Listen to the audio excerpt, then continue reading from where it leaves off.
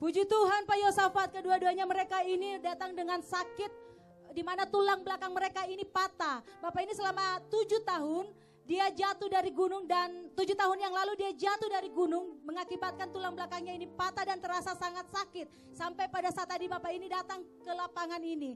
Dan Bapak yang satunya juga ini dia 8 tahun yang lalu karena dia bekerja berat, dia memikul kayu yang sangat berat. Dan Bapak ini jatuh maka tulang belakangnya juga patah. Tetapi pada saat kedua-duanya mereka menjama ujung jumbai daripada Pak Yosafat.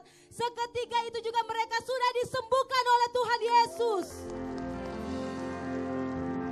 Sembuh ya. Sudah sembuh? Ya.